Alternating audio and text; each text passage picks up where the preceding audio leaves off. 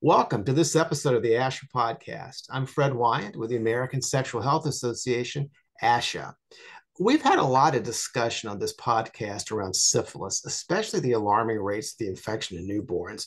But today we're talking about syphilis and ocular or eye infections, in particular, syphilitic uveitis, a disease affecting the uvea, the middle layer of the eye. It's not all that common, but it's been increasing in recent years. And it can really damage somebody's vision if it's not diagnosed and treated. So, to learn more, we're fortunate to be joined by Dr. Meghan Berkenstock, an associate professor of ophthalmology at the Johns Hopkins Wilmer Eye Institute. And she specializes in the care of patients with uveitis. So, Dr. Berkenstock, thank you and welcome.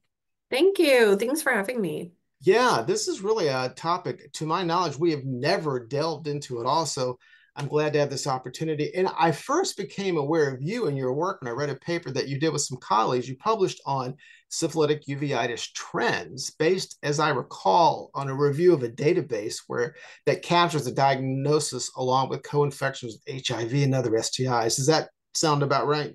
Yeah, totally. We uh, just published the American Journal of Ophthalmology about a month ago, and we wanted to look at the rates over the United States in total, because a lot of the papers that talked about this before were just from local health departments or on statewide levels. And so we wanted to look at how it affects everyone across the United States. And so using a uh, database that is uh, anonymized and available that is generated through information from multiple healthcare organizations over many states um, enabled us to do that. And I think what we we found mirrored what the CDC had already been posting that not only are the rates of syphilis going up, but ocular syphilis, um, especially syphilitic uveitis or inflammation in the eye from it, is increasing across the board.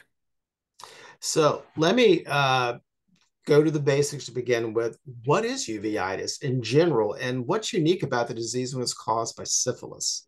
That's a great question. So uveitis affects 1% to 2% of the US population, and it's an inflammation inside the eye. I like how you said it was the middle coat of the eye, because that's exactly it. So it involves the iris, so the colored um, part of the front of the eye that we all see when we look at each other, but also layers behind it, including the ciliary body, and also a layer underneath the retina, which is the part of the eye that helps us see a supporting layer called the choroid. So if any of those become inflamed, that's the name uveitis. And and what's interesting about syphilis is that it can take any kind of presentation or look like any other cause of ocular inflammation in the eye or other ocular conditions. And so in medicine, we like to call it the great mimicker, and it certainly mm-hmm. is in the eye. And so as a physician, you need to have a really low threshold to figure out, okay, and we certainly don't judge and we don't profile. I check in on everybody. I check a treponemal test and a non-treponemal test for this because I don't want to miss it because not only does it affect the patient, and if left untreated, as our paper showed,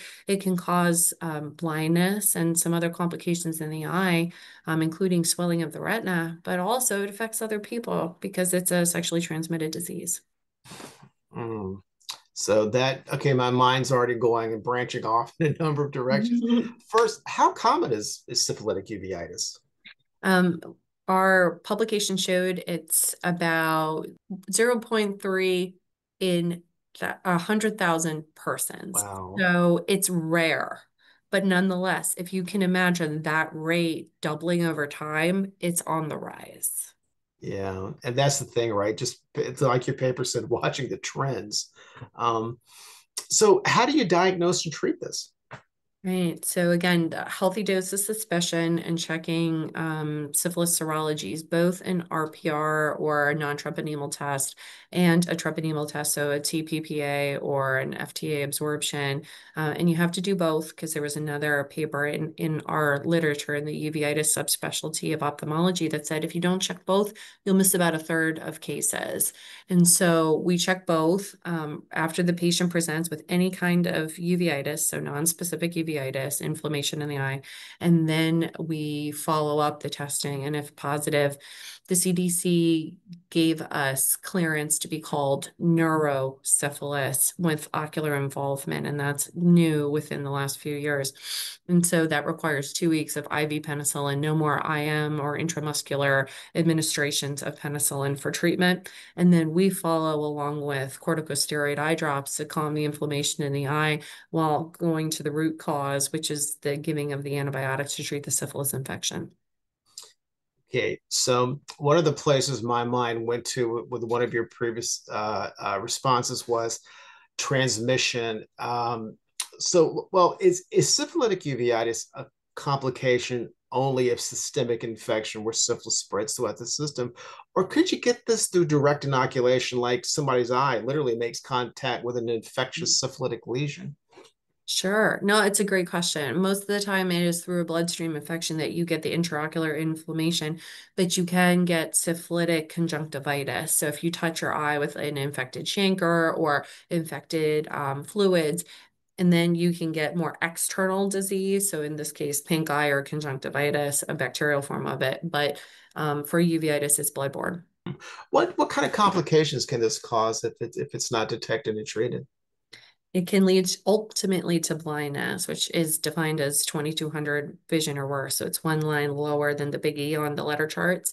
Um, but it can cause high pressures in the eye, which can lead to glaucoma, uh, which can cause damage in the optic nerve. It can lead to retinal swelling in the back of the eye, which can lead to vision loss because the retina can atrophy or shrink over time due to the continued swelling.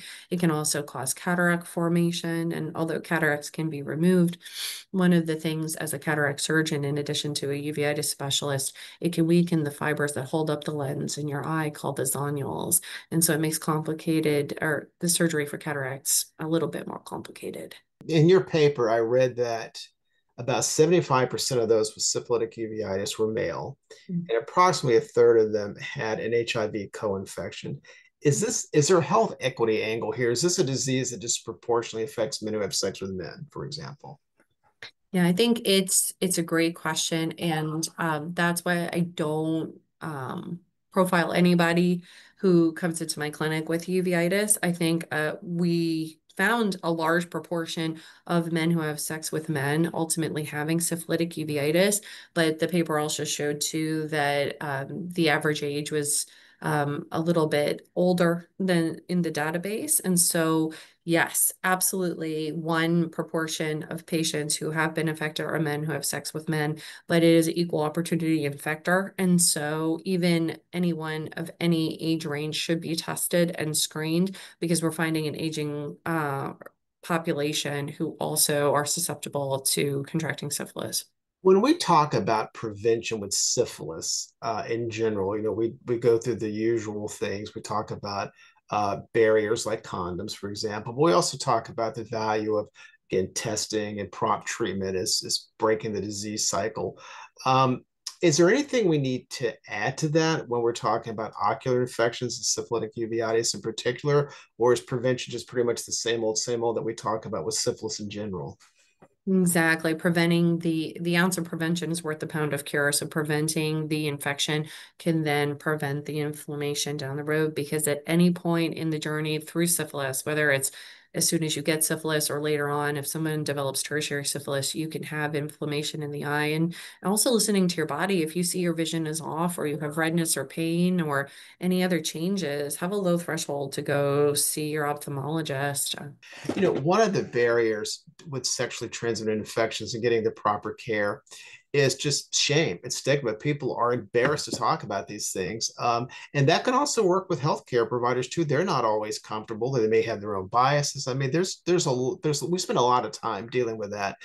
Do you think ophthalmologists are sort of primed to deal with eye infections that stem from STIs? Is that something? Do they train you on that? How do you interact? Just how does that whole dynamic work? No, it's a great question. And and I'm I'm so happy you ask about it because as ophthalmologists, we are MDs. And so we got trained in medical school about systemic infections, but also even in our residency, we we certainly encounter it. And that goes for gonorrhea and chlamydia associated conjunctivitis.